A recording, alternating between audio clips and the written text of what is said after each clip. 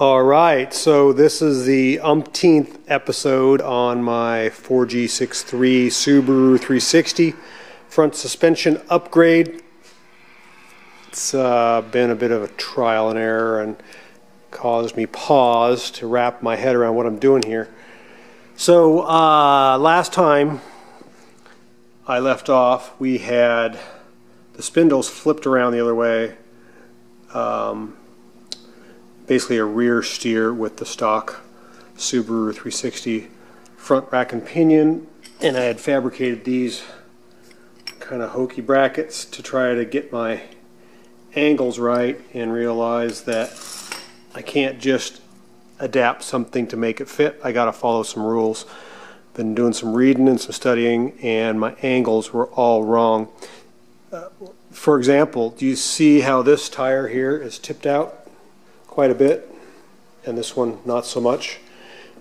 Look at them both. You can see that one on the, the left there is quite a bit tipped out. That's called Ackermann's angle or Acker, Ackermann's principle, and that wasn't happening at all with the way it was before. The problem with the uh, steering is this rack is set up to be rear steer. So when I turn the steering wheel left, it actually turns the car right. But I'm working on that. I've pretty much come to the conclusion that I've got to have my tie rods in the front like this.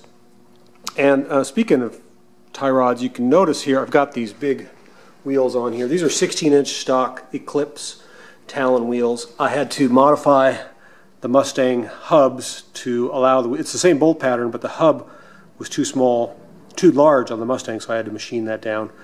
Now I just realized that the thread pitch is wrong, so I'm to have to put different wheel studs in. It's all these little things that really get you.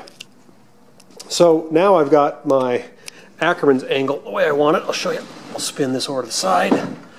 So that's full lock to the left if you're sitting in the car and see how this is quite a bit further out. That's what you want. That's actually a little too much. I've got a little too much caster on that right now. And I've also realized through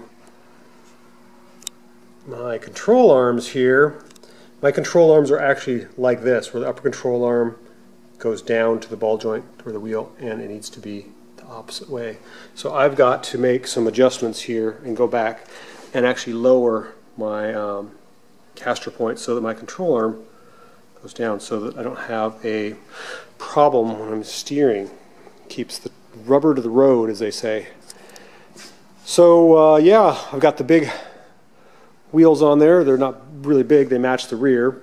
And uh, ultimately, that's what the car is going to get. The 14-inch wheels, which I had on there prior, are definitely smaller, but I couldn't get my tie rod on the bottom. I'd have to mount to the top, and that would throw my angle all off, create bump steer and some other issues. So a lot of engineering goes into this. You can't just throw a front end together, as I am quickly realizing. And, move this back again.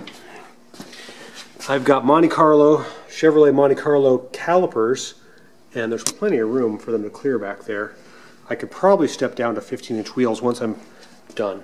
And that's probably what I'd like to do. I want to keep the wheels as small as possible. I think it looks kind of funky with great big huge wheels on this little tiny car. So that's where we are tonight. I'm working with ironing out all the little bugs. I've got to make a new lower cross member and I've got to adjust those control arms down and I've got to find a rack.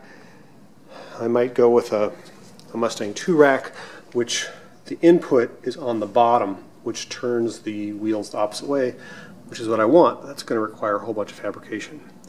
I may just figure out a way to gear this like an oil pump.